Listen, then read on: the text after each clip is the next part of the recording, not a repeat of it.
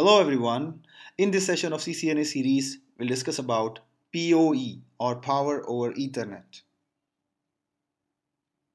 Power over Ethernet or PoE is a revolutionary technology that integrates data and power on the same cable.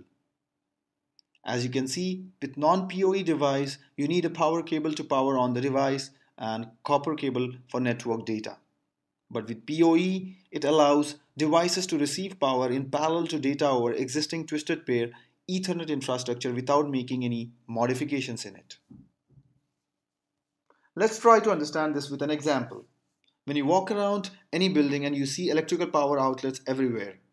When finishing the interior of a building, electricians run electrical cables and install electrical outlets to any and every location that might need power such as fridge, TV, PC, etc. As a network engineer, you might have thought that the electrician might have provided enough power to the wiring closets to, to power on the networking devices. PoE changes that thinking so that the responsibility to provide electrical power to some devices can fall to the network engineering team. The LAN switch connected to the cable can supply that power over the cable. Let's understand the terminologies used in PoE with PoE, some device, typically a LAN switch, acts as a power sourcing equipment, also known as PSE. That is, the device that supplies DC power over the Ethernet UTP cable. A device that has the capability to be powered over the Ethernet cable rather than by some other power connector on the device is called powered device or PD. Why use PoE or what are the advantages of using PoE? Let's start with time and cost savings.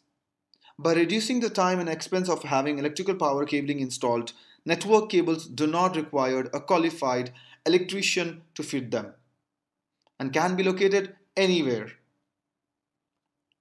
The next advantage is flexibility. Without being tethered to an electrical outlet, devices such as IP cameras and wireless access points can be located wherever they are needed most and reposition easily if required. The next advantage is safety.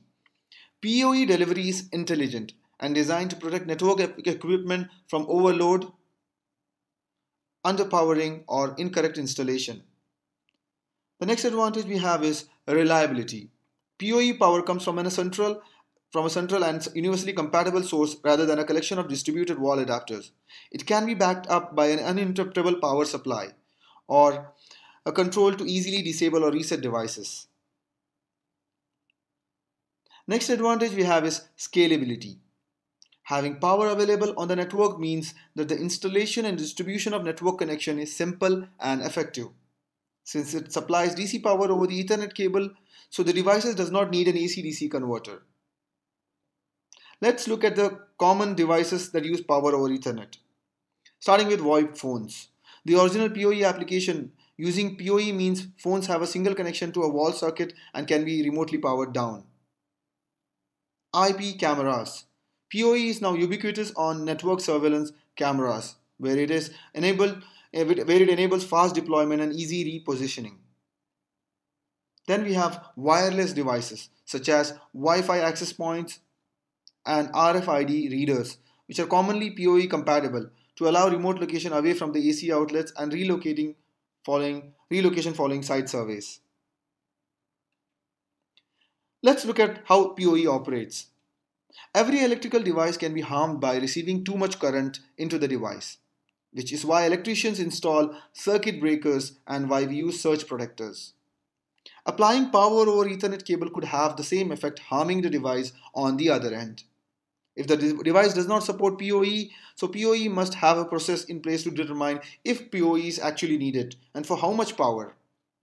Before applying any potentially harmful power levels to the circuit, PoE standardized by the IEEE extends the same IEEE auto negotiation mechanisms. In fact, the mechanism needs to work before the P PD has booted because the PD needs power before it can boot and initialize. By using this IEEE auto negotiation messages and watching for the return signal levels, PoE can determine whether the device on the end of the cable requires power. That is, it is a PD and how much power to supply.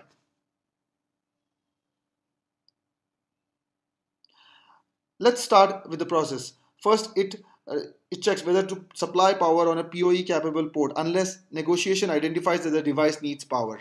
If yes, then use Ethernet auto negotiation techniques, sending low power signals and monitoring the return signals. To determine the PoE power class, which determines how much power to supply to the device. If the device is identified as a PD, supply the power per the power class, which allows the device to boot.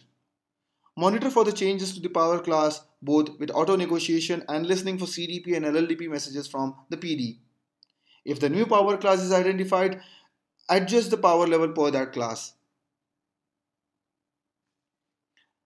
The negotiation process results in the PD signaling how many watts of power they would like to receive from the PSE. That's it for this session. In my next session, I'll discuss about interface and cable issues. Thank you for watching. Please do like, share, subscribe and hit the bell icon. Thank you.